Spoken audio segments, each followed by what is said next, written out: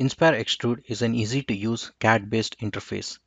You won't be required to complete steps such as meshing or boundary condition creation manually. All these operations are completely done in the background with no user intervention. One of the main goals of extrusion analysis is to understand how the material deforms through the die openings and forms the extruded profile. The file imported shows a die assembly in transparent gray.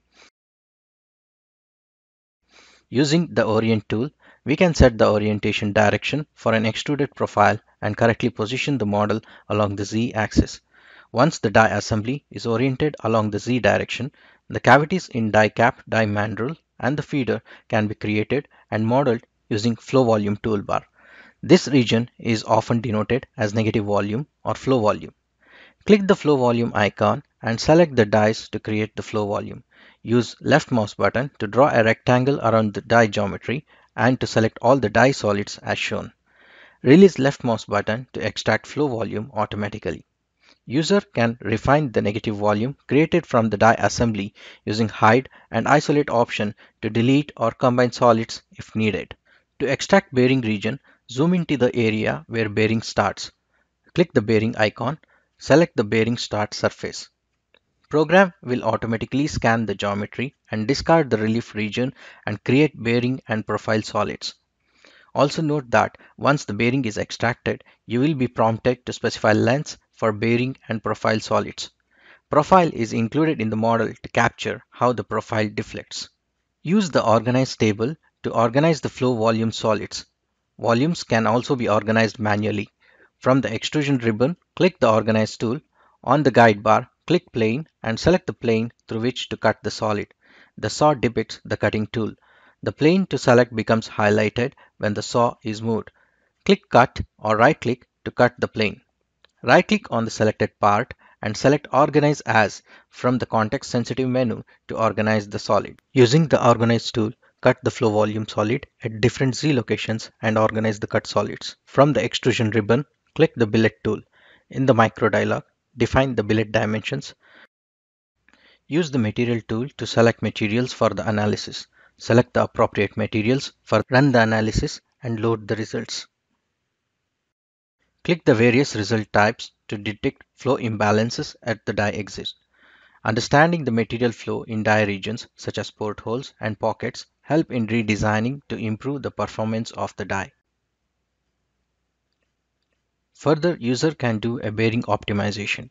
Bearing length optimization can be performed to ensure the velocity of an extruding profile at the exit is uniform.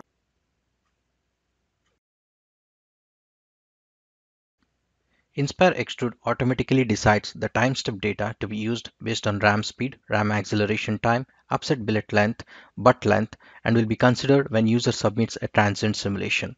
However, User can edit the default values and control or change the time steps for a transient problem.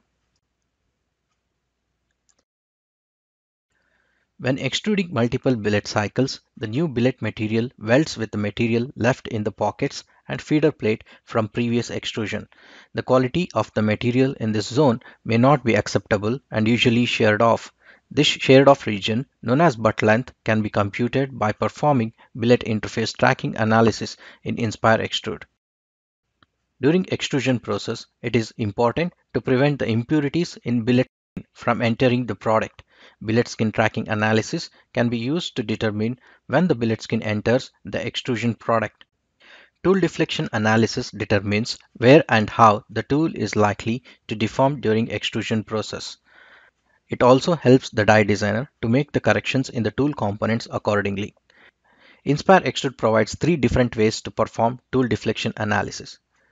Either through coupled flow, thermal and stress analysis or by writing a FEM file that contains tool mesh, material data and BCs which can be submitted to OptiStruct Solver for stress analysis. In above both cases, model should contain both workpiece and the tool components. Tool deflection analysis can also be done using the analysis wizard in Inspire Extrude. Quenching or cooling after extrusion is very crucial for controlling grain size and mechanical properties of the profile. Inspire Extrude can be used to set up and run a quenching simulation. Import the profile geometry and set the orientations. By clicking on the imported profile solid or surface, the length of the profile solid is set. Using the quenching interface design, immersion cooling, spray cooling, air nozzle cooling, and air fan cooling quench systems can be created.